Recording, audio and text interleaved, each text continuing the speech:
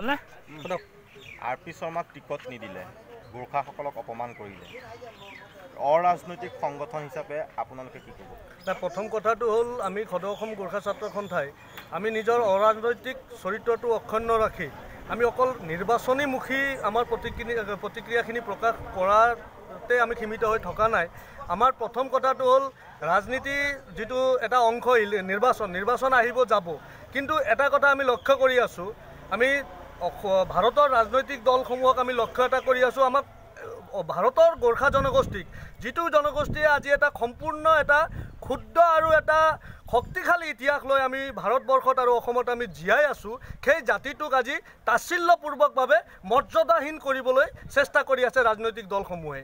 আমি দেখিলোঁ ইয়াৰ আগৰ নিৰ্বাচনত আমি দেখিলোঁ এজন নিৰ্দিষ্ট ব্যক্তি এজন কংগ্ৰেছ দলত আছিল সেই ব্যক্তিয়ে সেইটো সময়ত কি কৰিলে আমাৰ জাতিটোক প্ৰতিনিধিত্ব কৰা মণিকুমাৰ চুব্বা তেজপুৰ লোকসভা সমষ্টিৰ টিকেটটো তেখেতে কাটিলে। এইবাৰ আমি দেখিলোঁ তেজপুৰ লোকসভা সমষ্টিৰ পৰা ভাৰতীয় জনতা পাৰ্টীৰ যিজন সাংসদ হৈ- আছিলে সেই মানুহজনৰ পেনেলত নাম নপঠিয়ালে। ৰাজ্যিক বিজেপিৰ যিটো চৰিত্ৰ আমি দেখি আছোঁ চাওক কিমানখিনি সমস্যাত আমি ভুগি ভুগি আছোঁ এতিয়া। ৰাইজে ক'ত দি ভোট দিব সেইটো ৰাইজৰ কথা।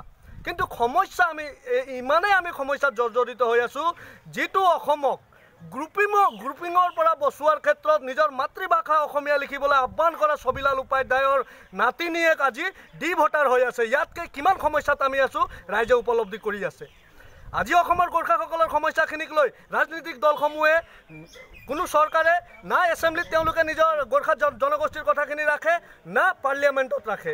আজি চাওক ডি ভোটাৰৰ সমস্যা সমাধান বুলি কৰিম বুলি কৈছিলে।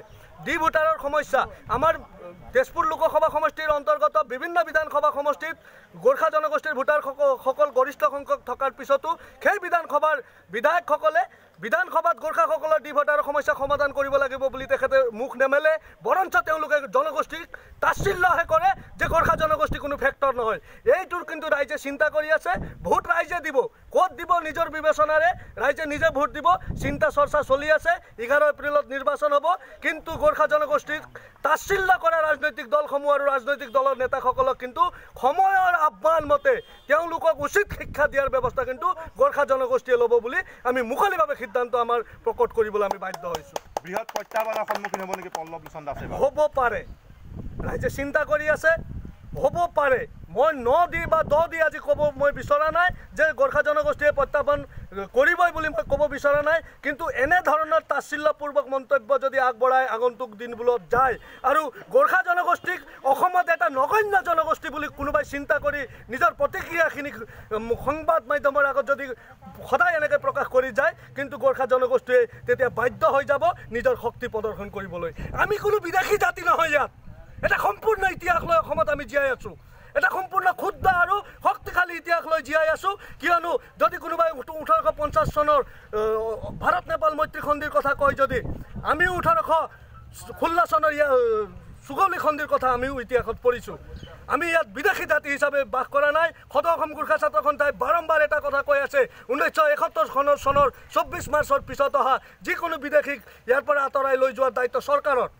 আমি বাৰম্বাৰ কৈ আছোঁ যদি বিদেশী আছে আঁতৰাই লৈ যাওক। কিন্তু বিদেশীৰ নামত আমাক নগণ্যভাৱে এই ইয়াৰ স্বদেশী মানুহখিনিক হাৰাশাস্তি কৰিব কৰিব চেষ্টা কৰিলে কিন্তু ইয়াৰ যোগ্য প্ৰত্যুত্তৰ অসমৰ গৈ গোৰ্খা ৰাইজে দিব।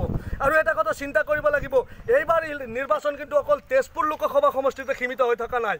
গোৰ্খা জনবহুল অঞ্চল ডিব্ৰুগড় লোকসভা সমষ্টি আছে লখিমপুৰ লোকসভা সমষ্টি আছে তেজপুৰ লোকসভা সমষ্টি আছে মংগলদৈ লোকসভা সমষ্টি আছে। এই লোকসভা সমষ্টিসমূহতো কিন্তু এই যিখিনি বক্তব্য অসম বিধানসভাৰ আহ, বিধায়ক আমাৰ মাননীয় মন্ত্ৰী ৰঞ্জিত দত্ত ডাঙৰীয়াই যিখিনি মন্তব্য আগবঢ়াইছে লগতে আৰ পি শৰ্মা ডাঙৰীয়াই হওক ইয়াৰ আগৰ আহ, মণিকুমাৰ চুব্বা ডাঙৰীয়াই হওক যিখিনি কথা চিন্তা কৰি তাচ্ছিল্যপূৰ্বক এটা মন্তব্য কৰি জনগোষ্ঠীটোক গোৰ্খা জনগোষ্ঠীটোক সীমিতভাৱে এটা নিৰ্দিষ্ট ক্ষুদ্ৰ এটা জাতি হৈ এনেকুৱা চিন্তাধাৰাৰে ৰাজনৈতিক দলসমূহ যেতিয়া আগবাঢ়িছে ইয়াৰ পৰিণাম কিন্তু এটা ভালদৰে অসমৰ গোৰ্খা জনগোষ্ঠীয়ে চিন্তা কৰি আছে। ইয়াৰ এটা ইম্পেক্ট কিন্তু এই নিৰ্বাচনত পৰিব।